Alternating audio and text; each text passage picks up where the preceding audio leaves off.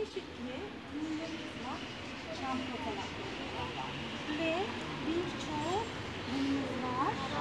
Tabaklarımız var. Çocuklar şimdi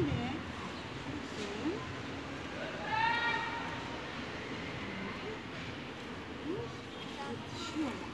Değil mi?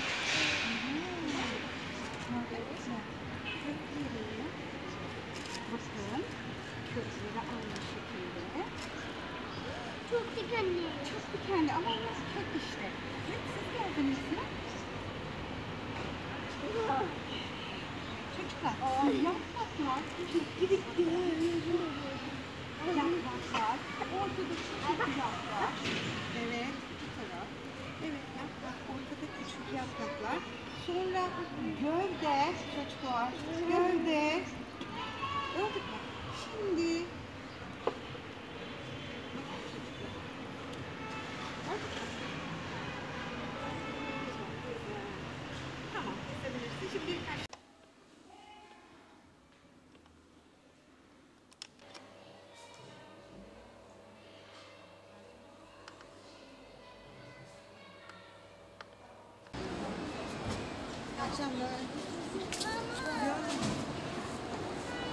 Görüşürüz. İyi tatiller.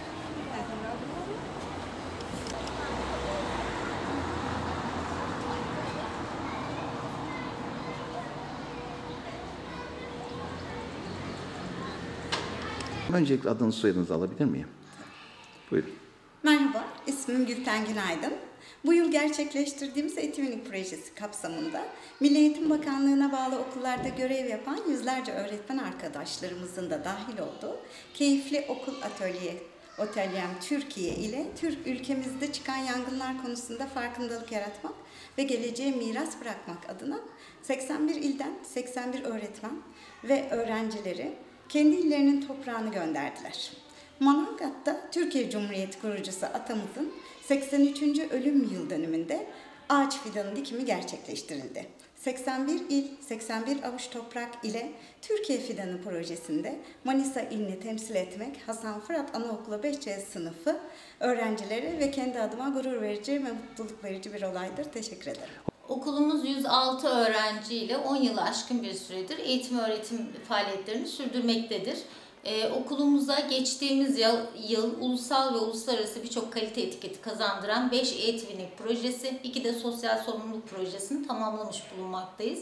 Ee, bu projeler okul aile işbirliğine ek olarak öğretmen motivasyonu ve aslında en önemlisi öğrencilerimizin fiziksel, zihinsel, sosyal birçok gelişim alanına büyük katkılar sağlamıştır.